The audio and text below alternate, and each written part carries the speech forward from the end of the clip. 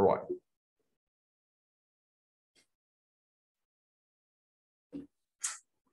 Yes.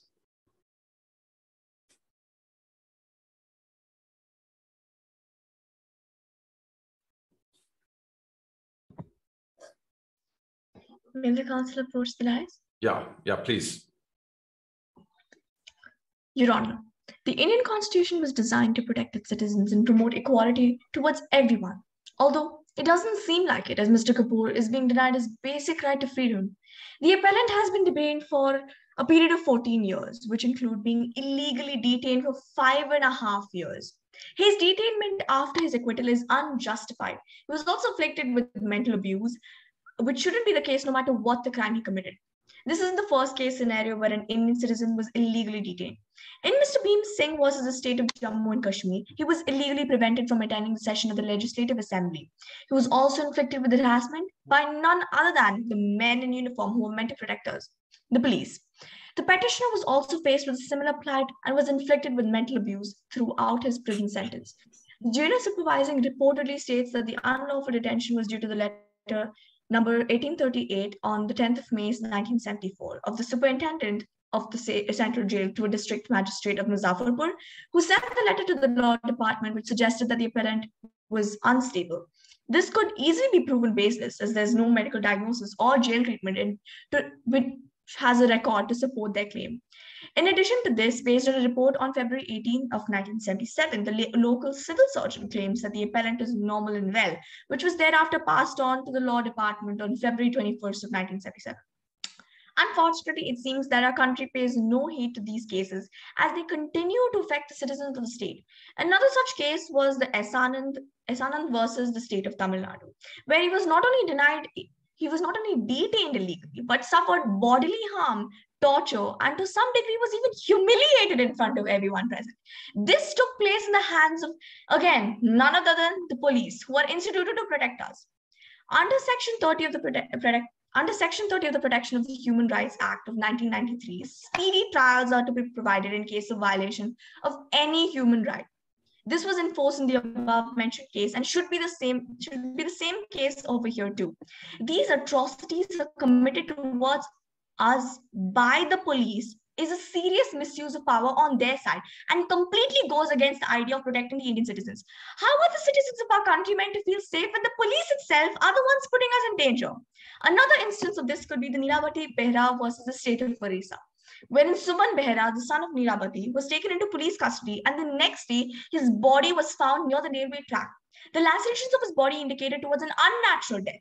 This, the decision in this case therefore made sure that the state could no longer escape liability in public law and had to be compelled to pay compensation when it committed such gross violation of one's fundamental rights, as well as the very basic human rights. It awarded a compensation of 1,50,000 to the petitioner. The Supreme Court also ordered the state of Orissa to initiate criminal proceedings against those who killed Suman. The appellant had been illegally detained and had to go on a massive amount of humiliation and even severe depression, which is quite desponding to see. This is barely the loss he has faced. He's also faced these, uh, he's also suffered from long-term causes of this, of losing personal connections, assets, and even jobs. The appellant may not be a perfectly righteous person, but that shouldn't matter because even if he may be convicted of a crime, that doesn't give anyone excuse that doesn't give anyone excuse for to be subjected for physical detainment and mental torture. It would consider it would be considered a severe violation of right of our freedom, right to freedom. So why should Mr. Kapoor be the only exception in this case? Our rights cannot be violated no matter who we are and what we do. Everyone should be treated the same. And as long as we are the citizens of India by the grace of our beloved constitution. Therefore, I urge this court to take severe action the, on this horrendous act committed against Mr. Kapoor. Fine. Um, now, second council portion, would you like to proceed?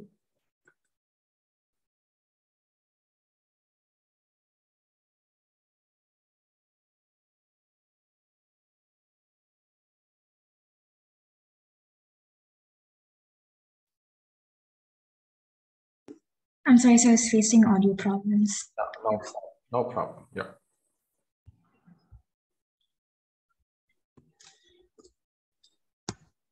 So would you like? May the council approach the dais? Sure, please. In Khatri versus State of Bihar, more popularly known as the Bhagalpur blindings case, a case in which the police blinded 31 individuals under trial by pouring acid into their eyes, the Supreme Court for the very first time, was faced with a dilemma whether or not to award compensation for the violation of right to life and personal liberty guaranteed by, guaranteed by Article 21. As proven and highlighted by my first speaker, Mr. Kapoor has been grossly violated of his fundamental rights, having been detained for 14 years after he was acquitted, something I feel we can all agree that no person should ever have to go through. Thankfully, the framers of our beautiful constitution created safeguards against the violation of the fundamental rights of the citizen.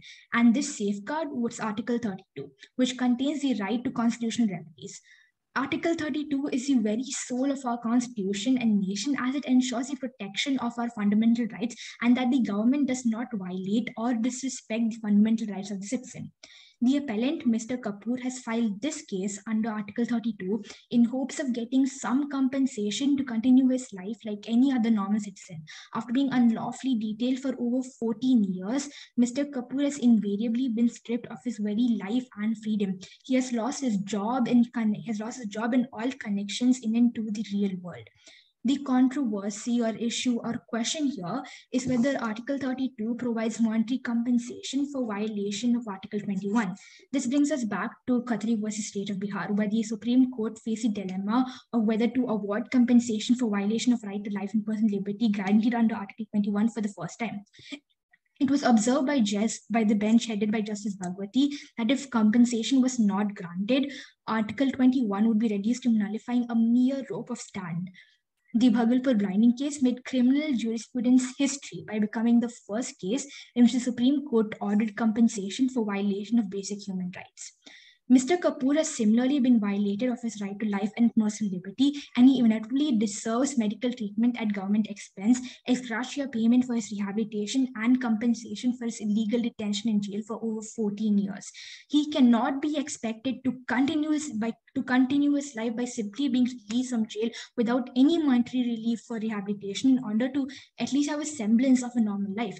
It is imperative to provide monetary relief to Mr. Kapoor as compensation for the violation of his fundamental rights. Not doing so will be doing mere lip service to his fundamental right to liberty, which the state government has so grossly violated.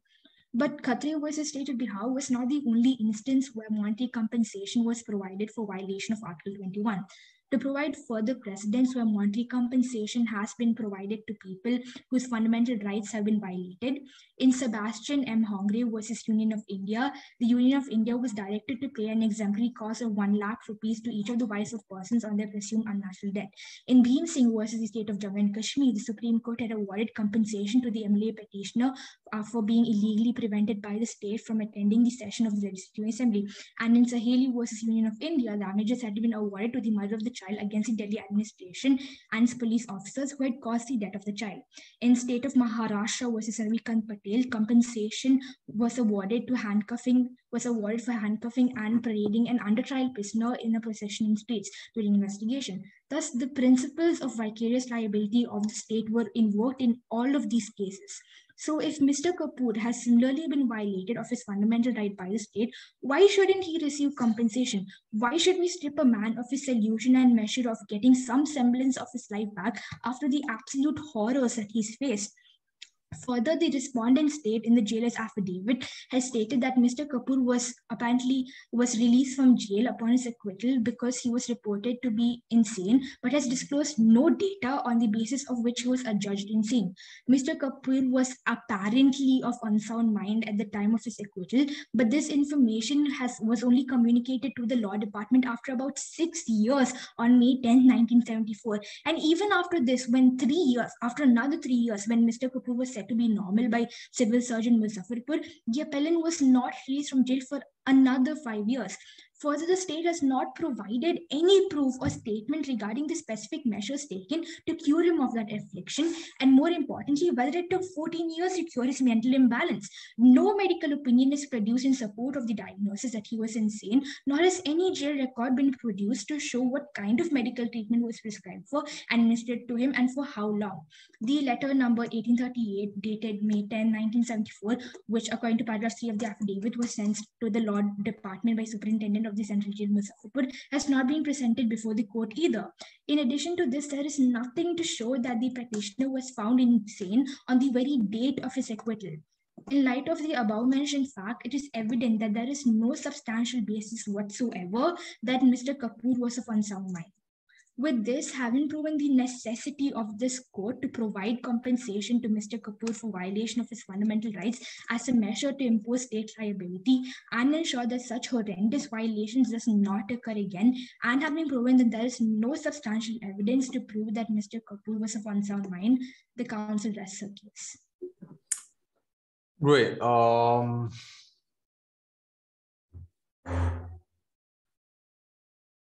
that's great. So, council person, would you like to come up uh, again with a prayer?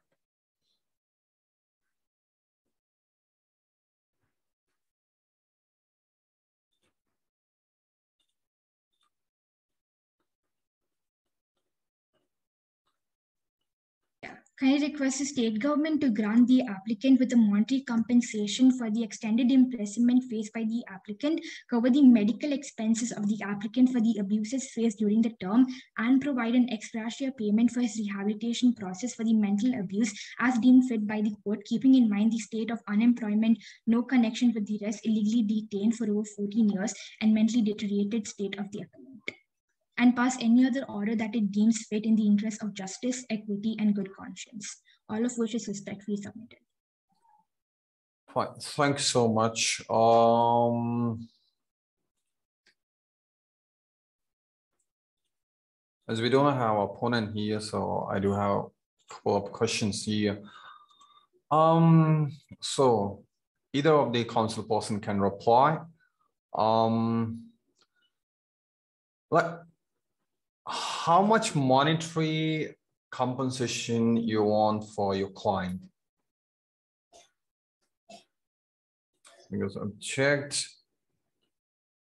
your memorial and can't find, you know, that, that monitor in, in term of monetary. Yeah, yeah, please. Honor, am audible? Yeah, In most cases, we have mentioned in our memorial and even in our speeches, when we argued, we gave a lot of exemplars on how much the amount of monetary compensation given. Most of them range from about 30 to 1 lakh, 1 lakh 500,000. We are asking for a bare minimum of about 50,000. Mhm. So my question is here, like, do, do you think like fifty thousand is enough?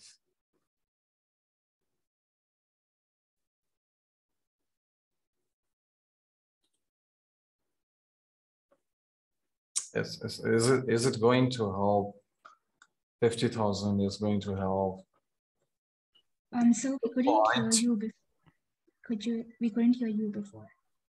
Uh, council person, I just want to know like this amount is enough for your client because fifty thousand, do you think like he can start any business? Or something like that in fifteen thousand, that capital is enough for him? Um, um, sir, we did not intend fifteen thousand. We wanted fifty thousand, but that is our bare minimum. We are requesting for fifty thousand to one lakh, the range between that. We want our amount to be la- ranging between fifty thousand to one lakh, not fifteen thousand. Fifty thousand is the bare which we are asking, the minimum amount of, but our range is from fifty thousand to one lakh or even more since we have seen many exemplars of cases wherein the uh, wherein this petition has been granted about 1000 1 lakh 5 500000 or even more than that The thing is that in India, if we talk about India, like fifty thousand or uh, one lakh is quite a small amount. if we'll talk about Indian currency. You're, So that's why, that's why, that's why. I'm, I'm you're sorry. not audible. Okay. Is it audible now? Hello? Yeah. Is it audible? Okay, well, uh, only thing is that in India, if you talk about the Indian currency, like, you know, to start a big, good business, um, you, you, uh, I think you should ask for bigger amount.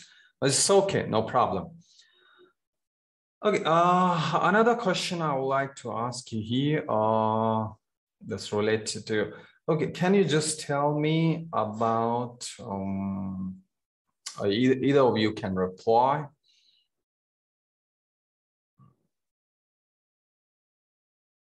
What does it mean, habeas corpus?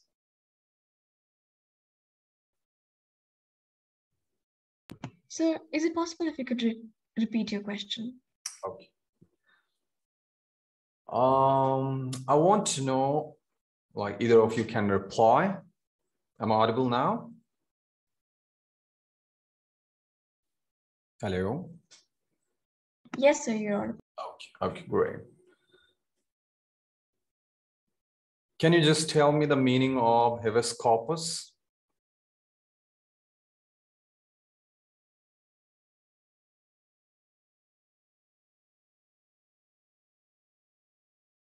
A habeas corpus petition is filed by a person in prison if they feel that their detention is unlawful.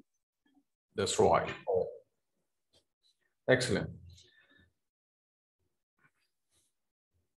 So having a body out of detention, okay, fine.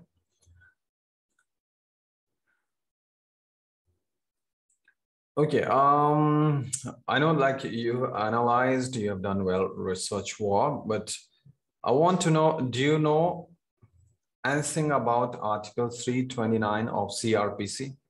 Uh, have you gone through this this point while doing research work? I, I just want to know.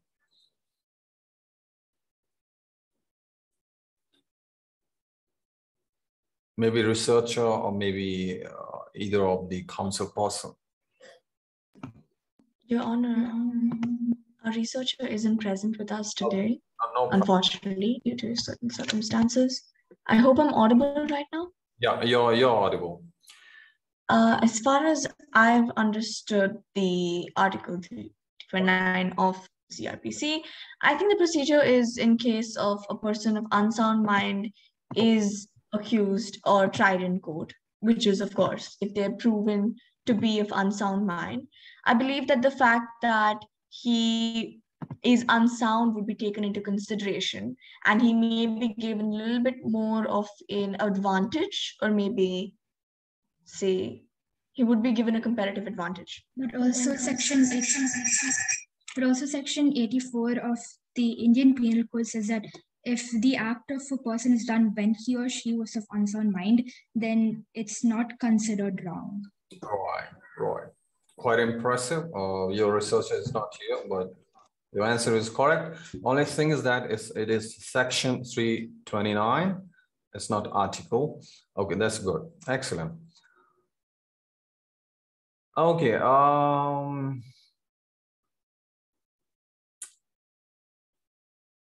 so either of the council person, can you just respond? Like how it is related to Article 21 of the Indian Constitution. Article 21 Article 21 guarantees the right, to life and personal liberty, which when uh, Mr. Kapoor has been unlawfully detained for 14 years, it is grossly violated. Excellent.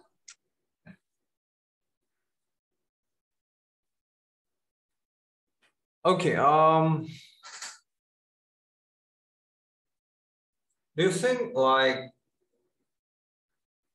if there is any illegal detention, so uh, that there is a violation of fundamental rights, so someone can only go to Supreme Court or we do, do we have any other provision in Indian constitution by which, you know, they, they can approach to High Court?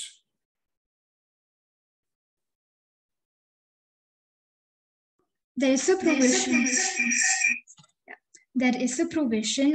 It should be always tried at the lowest uh, level of court for the case. So um, after this case, Mr. Kapoor can still approach any um, local court for getting monetary relief from the state government. The question is, uh, of course, when your fundamental right is violated, so as for Article 32, you can directly go to the Supreme Court or someone can directly, you know, go to the Supreme Court. Uh, do you think like um, uh, uh, uh, uh, while doing your research work, I just want to know, like, do you have any idea like you came to know it's not only Supreme Court, they can also go to the High Court on some sort of provision which is given in, in Indian Constitution? a similar sort of article, like you, you know, Article 32, directly you can go to the Supreme Court.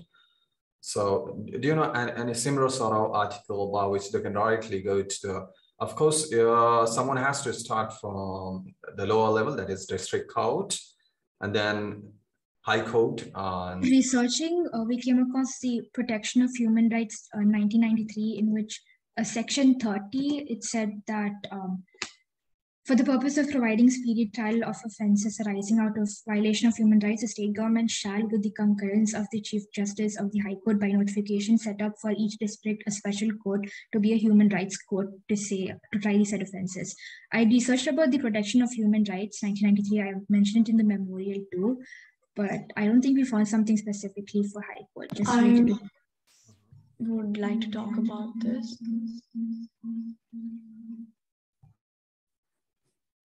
Uh, would you like fundamental rights is a huge thing in the constitution of india even for india. It is a major thing which is necessary for each and every citizen and it is important. India has taken notice of that and kept that in mind even while writing the constitution. Article 32 under part 3rd part 3 of the indian constitution believes that indian citizens can directly move to supreme court in case of any violation of fundamental rights which shows how important the fundamental rights are for india Mm-hmm. So, uh, point. You know, um, if we talk about India, like we do have our like Supreme Court. And you know, uh, India is a very big country uh, with a huge population, and sometimes it becomes, you know, um, the process becomes very slow. So just for your knowledge sake, I, I want to tell you, or later you can utilize it, you know, uh, this point. So the similar sort of article that we do have is Article 226. So if, if you talk about Article 32, by which you can directly approach Supreme Court and 226 is related to High Court. Okay, so maybe uh, later you can just go through it. It's quite interesting, both the articles. That's what I just wanted to know. Uh, quite similar. Great, so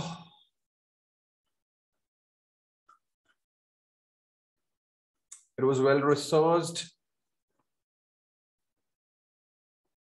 well presented. Your points are quite strong, impressive. On the,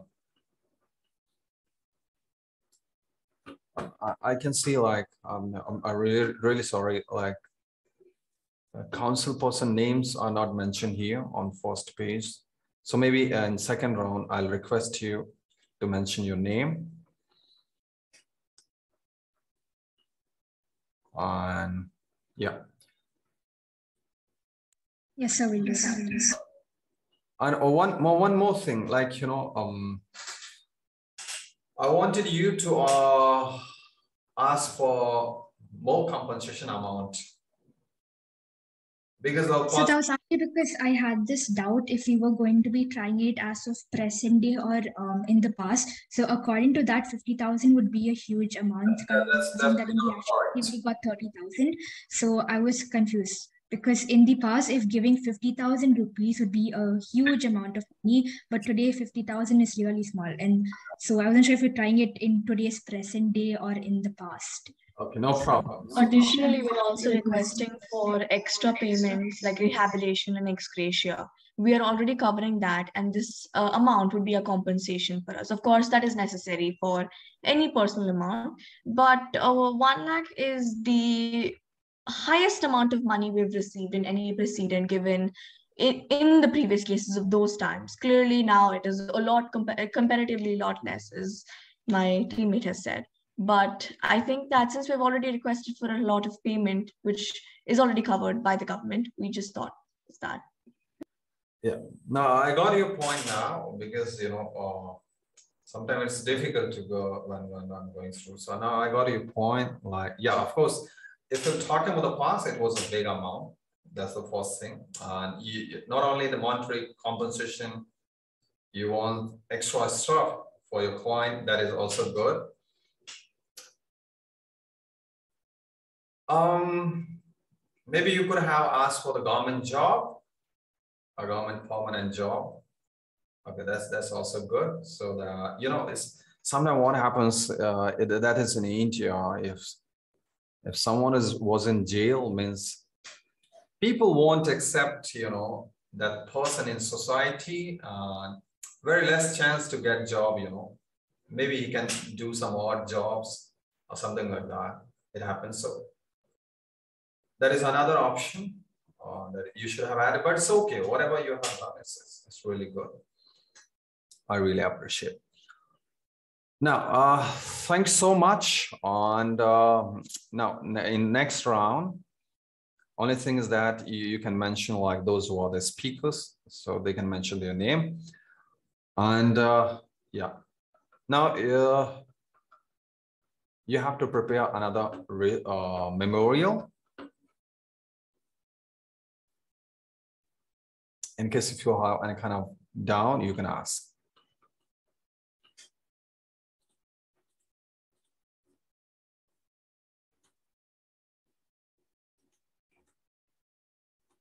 no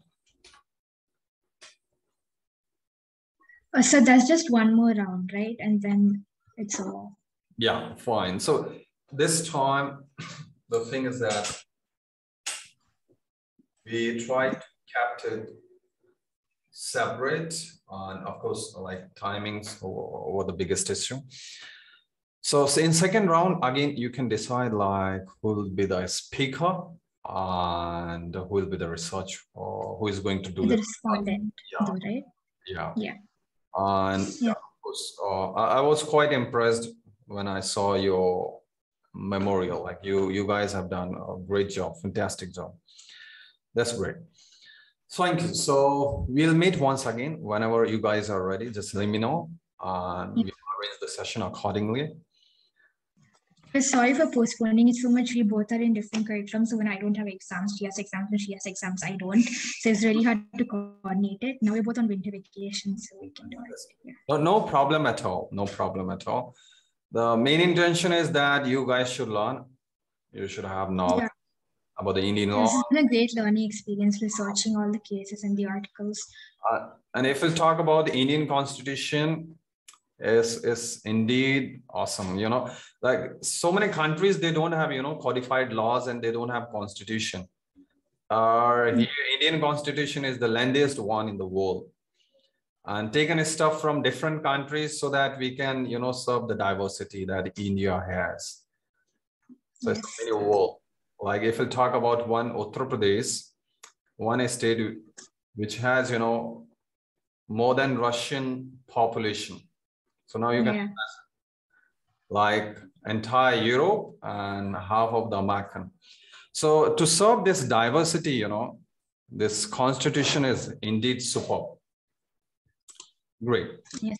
So we'll meet once again in second round. Thank you so much. God bless you and good night.